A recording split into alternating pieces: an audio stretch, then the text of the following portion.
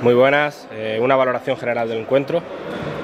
Bueno, un partido con un inicio yo creo que muy bueno por nuestra parte, con un plan de partido en la cabeza. Pues, eh, dio, nos sirvió para ponernos arriba en el marcador. Eh, luego era normal la relación del equipo de casa que ha reaccionado muy bien para, para empatar. Un segundo cuarto también, eh, durante 5 o 6 minutos muy bien competido y luego pues la, la, salida del descanso yo creo que nos ha mal, eh, ellos han acertado en momentos puntuales, han roto el partido ya a más de 10 puntos y nos ha sido muy difícil llegar al final donde han dosificado muy bien e, incluso han, ganado la veraz, ¿no? Invitar a, a Melilla y bueno, saber que tenemos que hacer muchas más cosas para ganar un partido en esta liga LED que está siendo muy complicada, pero que tenemos que seguir demostrando que somos unos profesionales hasta el final.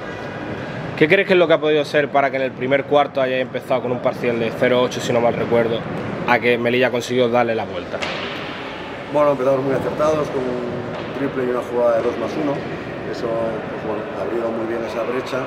A partir de ahí Melilla encontró el camino del aro ¿no? y era normal que, que remontase. Eh, y la verdad que sí, sí me queda un, un resquemor importante de que a partir del, de mediados del tercer cuarto no hemos peleado como, como forzado muchos tiros, eh, la energía de Melilla parecía mucho más que, que la nuestra y yo creo que ha, que ha sido clave. ¿no? Esa gana y bueno, una grandísima actuación de Bryce Duvier que, que, ha sido clave, casi no ha fallado eh, nada durante el partido y, y, eso les ha abierto mucho con, junto con Barans eh, el partido.